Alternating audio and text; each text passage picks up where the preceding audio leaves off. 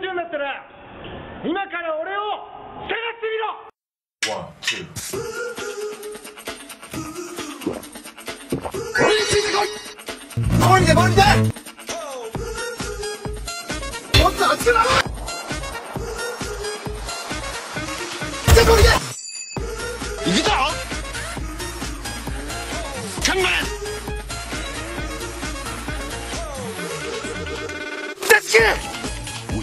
Wida and Zelly. Power your life. わかるよ One, two. 俺についてこい守りで守りでもっと熱くなろうじゃあ守りで行くぞ頑張れ Let's get it! Wida and Zelly.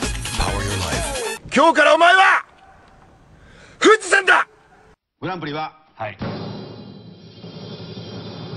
松岡修造さんです。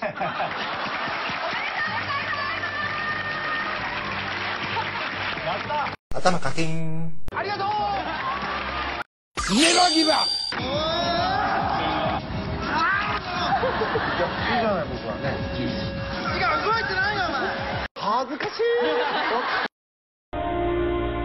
やっぱり人間僕もそうですけど、うん、100%出し切らなくても特に今日本の社会あんまり言われなくなりましたよね。でそれをするとどんな時も困難なことが起きたら甘えてしまう逃げてしまう勇気を持って自分で戦える力をつけてほしいんですね。